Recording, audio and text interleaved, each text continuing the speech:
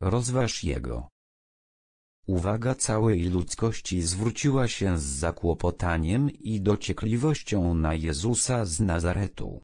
Przez cztery tysiące lat ludzie oczekiwali, prorocy pisali, poeci śpiewali o nadchodzącym odkupicielu, a przez następne prawie dwa tysiące lat, oczy wszystkich zwrócone były na Jezusa z Nazaretu, czy on rzeczywiście może być tym wyczekiwanym?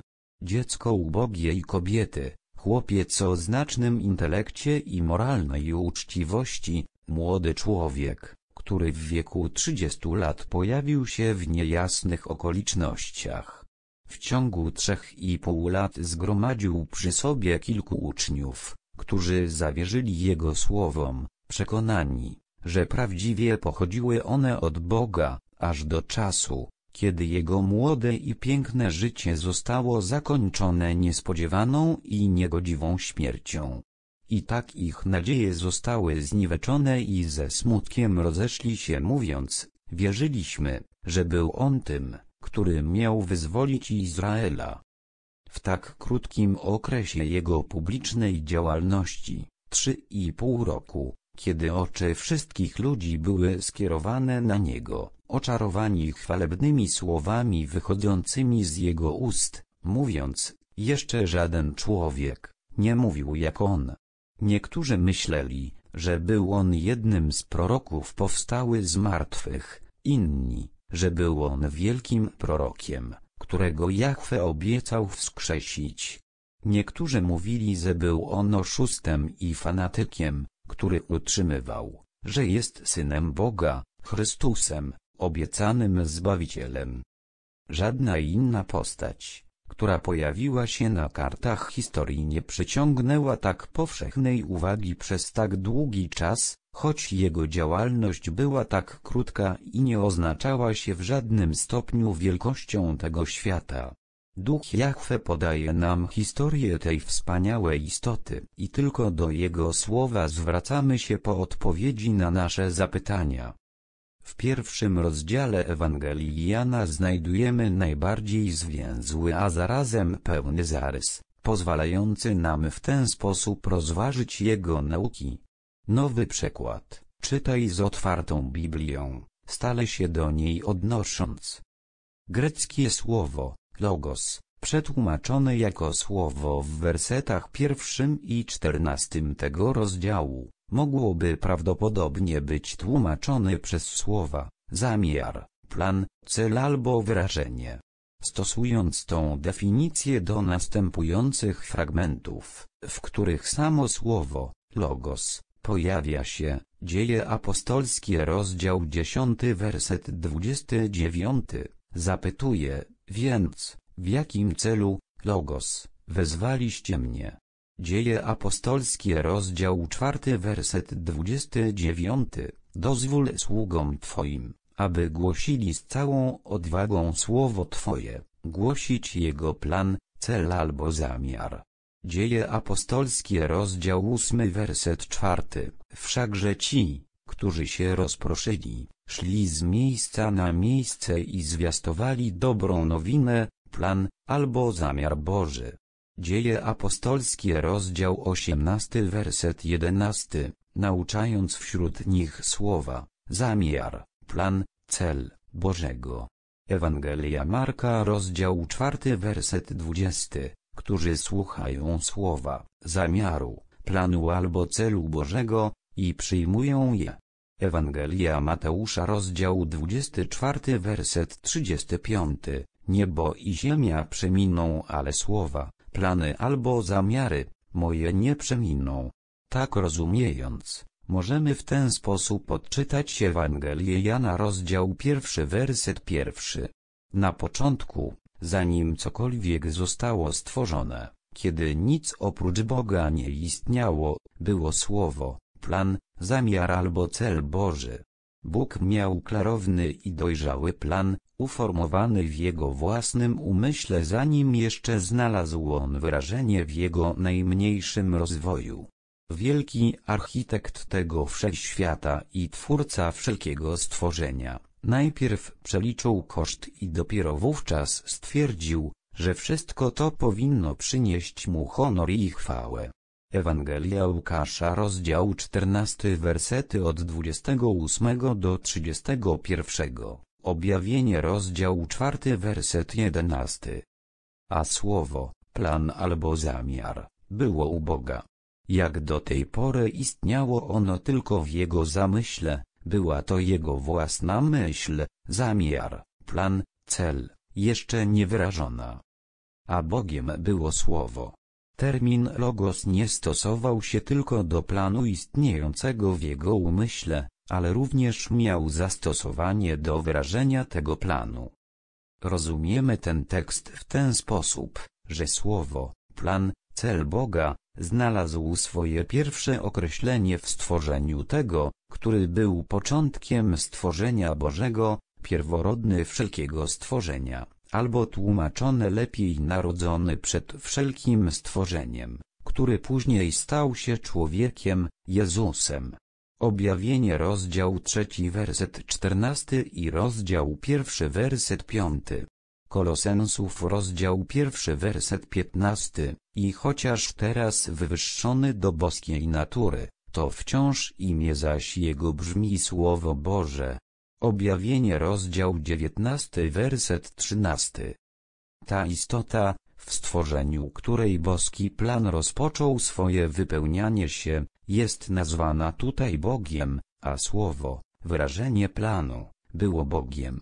Słowo Bóg oznacza tutaj potężnego, ale nie zawsze wszech, mogącego. Jest to tłumaczenie każdego z czterech hebrajskich słów, El, Elach, Elohim i Adonai, a wszystkie oznaczają słowo wszechmogący albo potężny. Jest to ogólna nazwa, często i właściwie stosowana do określenia naszego Ojca Niebieskiego, jak również odnosi się ona do Jezusa, aniołów i ludzi. Piąta Mojżeszowa rozdział 10 werset 17. Pierwsza Mojżeszowa rozdział 32 wersety 24 i 30. Sędziów rozdział 13 wersety 21 i 22. Jeremiasza rozdział 16 werset 13, rozdział 10 werset 11, druga Mojżeszowa rozdział 7 werset 1. W psalmie 82 zróżnicowanie pomiędzy istotami, o których mowa przy użyciu słowa Bóg jest bardzo wyraźna, Bóg, Elohim, wstaje w zgromadzeniu Bożym, El, pośród bogów, Elohim, sprawuje sąd. W tym fragmencie pierwsze słowo, Bóg, ewidentnie wskazuje na Jahwe, na wszech, mogącego, kiedy pozostałe ewidentnie wskazują na innych potężnych, Kościół, synów Bożych, spośród których Jezus jest głową i najważniejszym. I znowu w wersecie szóstym, rzekłem wyście bogami, Elohim, i wy wszyscy jesteście dziećmi Najwyższego, Elion, Najwyższego Boga, lecz jak ludzie pomrzecie. My teraz, choć jesteśmy synami Najwyższego umieramy i nie różnimy się niczym innym od pozostałych ludzi. W nas, jak również w naszym przywódcy i głowie, Bóg ujawnia się w naszych śmiertelnych ciałach. Zobacz Ewangelię Jana rozdział 10 werset 35 i 2 Koryntów rozdział 4 werset 11.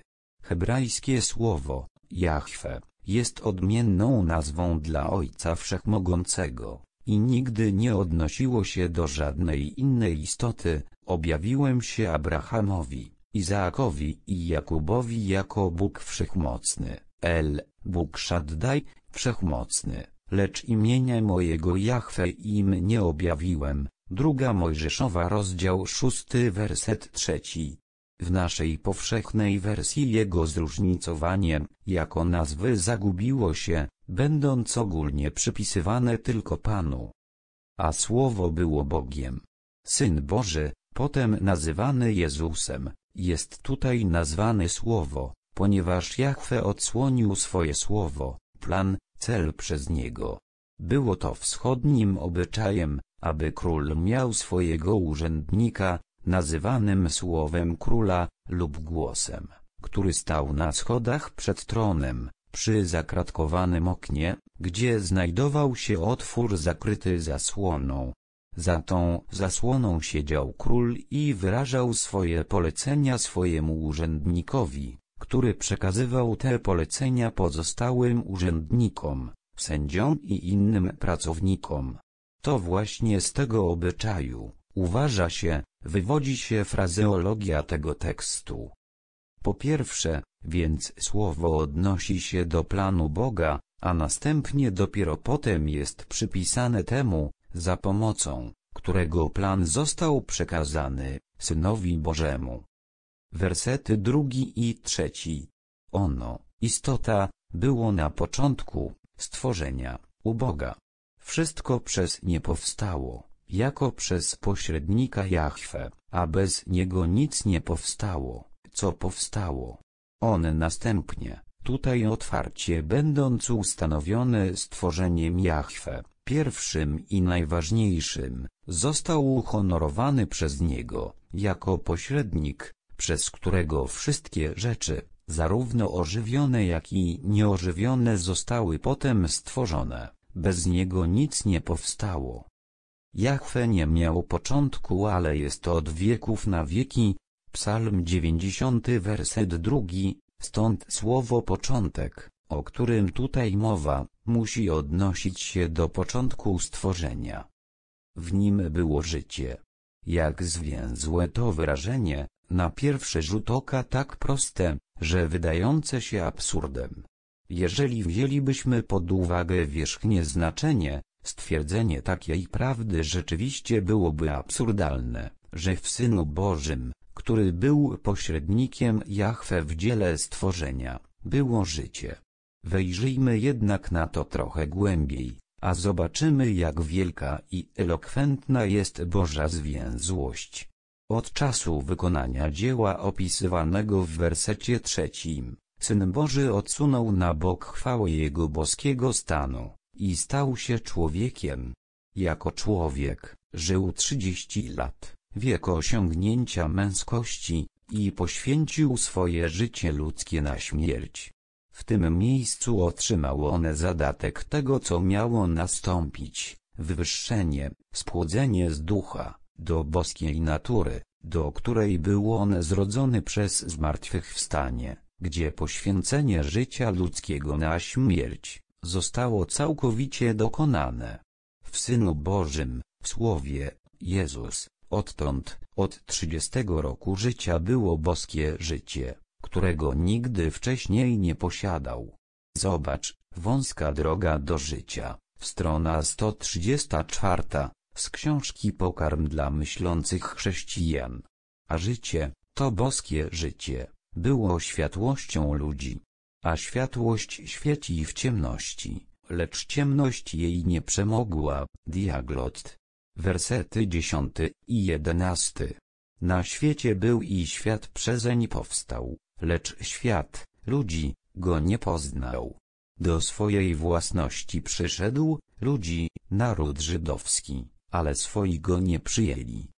Ale, chociaż świat go nie poznał, ani swojego jeszcze nie przyjęli, jednakże, werset dziewiąty świadczy, prawdziwa światłość, która oświeca każdego człowieka przyszła na świat.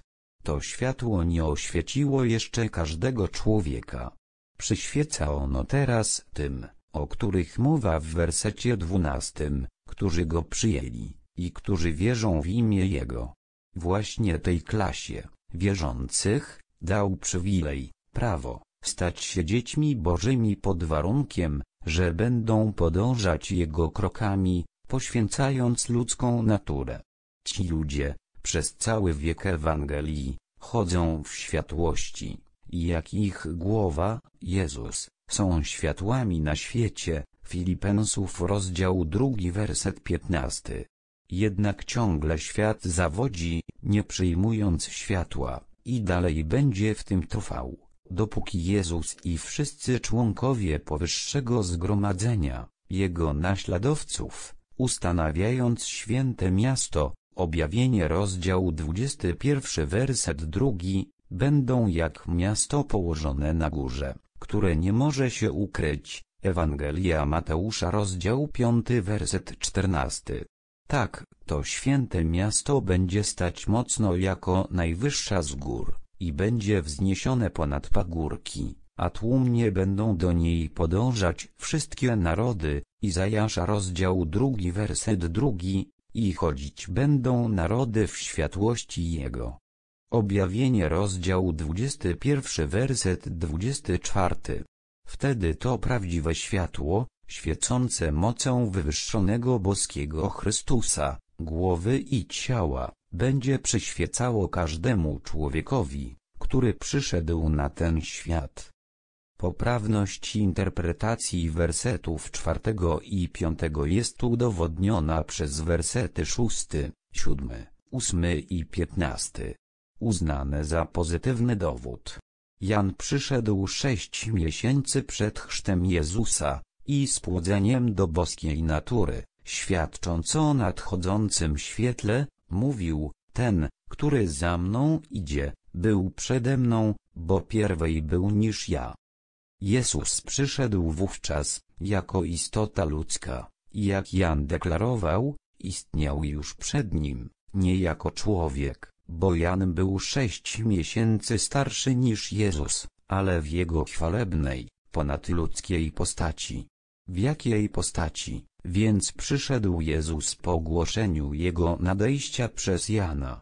Odpowiadamy na to pytanie w czasie poświęcenia Jego i chrztu, Przyszedł On, jako pomazaniec, Chrystus święcie spłodzony Syn Boży a w następstwie światło tego świata. Werset czternasty. A słowo ciałem się stało i zamieszkało wśród ludzi. Tak jak w wersecie trzecim jesteśmy informowani i o chwale i potędze słowa przed stworzeniem, a w wersecie czwartym ignorując następnie ludzką naturę, dla której opuścił tą chwałę, jesteśmy powiadomieni o boskim życiu, które ostatecznie przyświeca każdemu człowiekowi, który przyszedł na ten świat, więc werset czternasty powtórnie mówi jak on zostawił chwałę jaką posiadał będąc u Ojca, odrzucił swoją duchową postać, i stał się człowiekiem, i ujrzeliśmy Jego chwałę, chwałę Jego doskonałej ludzkiej natury, jaką ma jedyny Syn od Ojca. Jego doskonała ludzka natura płonęła takim blaskiem, jako kontrast dla niedoskonałych ludzi, iż on nie zdawał się być synem upadłej rasy, ale jako jedyny spłodzony z doskonałego stworzenia, a kim przecież był, nowym stworzeniem Boga, drugim bezpośrednio stworzonym z Boga człowiekiem, a jak Adam był pierwszym z nich. Jezus był zrodzony z dziewicy Marii, kiedy Adam został zrodzony z dziewiczej ziemi. Ojciec jest dawcą życia, życie, które posiadamy przez Adama jest kruche i ulega zagładzie, ale życie, które posiadał Jezus, nie zostało mu dane przez Adama, ale bezpośrednio przez jego Ojca, Boga. Nie był on, więc skażony grzechem przez jego pokrewieństwo z Marią, tak samo był Adam stworzony z prochu tej ziemi. Bóg był bezpośrednio Ojcem zarówno dla Adama jak i Jezusa, tak więc życie obydwu było doskonałe i niepodlegające utracie. Jezus, ponieważ był doskonałym człowiekiem, był wypełniony chwałą, łaską i prawdą. Żył w pełnej i stałej zgodzie z Bogiem, i w związku z tym, Bóg objawił mu prawdę, jego plan. Werset szesnasty. A z jego pełni myśmy wszyscy, wierzący, wzięli. Tak, dokładnie z tej samej pełni zgody z Bogiem, którą cieszył się Jezus z powodu swojej bezgrzesznej doskonałości, otrzymaliśmy wszyscy, z powodu naszego usprawiedliwienia z wiary w Jego krew. Tak jak Jezus podnosi wierzących z upadku i grzechu do poziomu, na którym on się znajduje aż do osiągnięcia pełni zgody i wspólnoty z Bogiem, usprawiedliwieni z wszystkiego. I to łaskę za łaską, albo łaskę na korzyść łaski, to znaczy, będąc podniesionymi ze stanu buntowników i grzeszników, do tego w którym jesteśmy usprawiedliwieni przez wiarę, mógłby być takim aktem łaski. Następnie ten akt dał początek innej łasce, a mianowicie powołania do tego, aby stać się uczestnikami boskiej natury, stać się Jego dziedzicami a współdziedzicami wraz z Jezusem poprzez cierpienie z Nim. Zgadzając się z Pawłem, z powodu tej łaski, usprawiedliwienia, w której trwamy, radujemy się w nadziei boskiej chwały, dalszej łaski. Rzymian rozdział 5 werset drugi. Werset 17. Zakon, bowiem został nadany przez Mojżesza, łaska zaś i prawda stała się przez Jezusa Chrystusa. Jest tutaj wyznaczony kontrast pomiędzy wiekiem żydowskim i wiekiem Ewangelii. W pierwszym tylko zakon został dany, cień dobrodziejstw, które mają nadejść w czasie i po wieku Ewangelii. Zakon jednak nie mógł nigdy dać życia, ponieważ nikt nie był w stanie sprostać jego wymogom.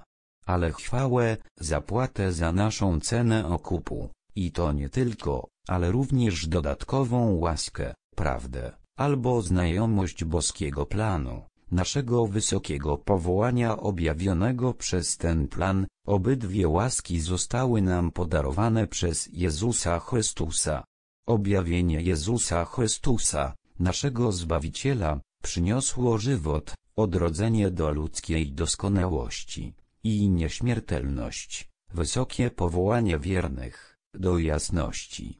Drugi Tymoteusza rozdział pierwszy werset dziesiąty, ta wyjątkowa łaska, chwała, i to wspaniałe poznanie, prawda, należą tylko do wieku Ewangelii. Na tak małym obszarze tutaj rozważanym jak chwalebną biografię została nam przedstawiona. Raz chwalebnie uduchowionego, następnie doskonałego człowieka, a obecnie wywyższone boskie, nieśmiertelne słowo. Tutaj trwa ono na świętej karcie, w jego prostej, wymownej zwięzłości tak ustanowione przez ducha Jahwe. Widząc, jaką chwałą Ojciec obdarował Jego, wszyscy ludzie i całe stworzenie powinno czcić Syna, tak jak czci Ojca.